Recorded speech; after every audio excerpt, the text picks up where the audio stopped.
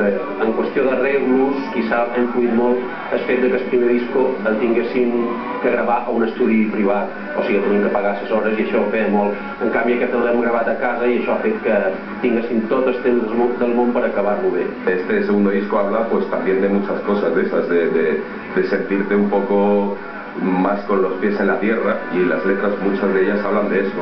No son tan letras tan teenagers como el primer disco, son letras un poco ya más trabajadas. A les botigues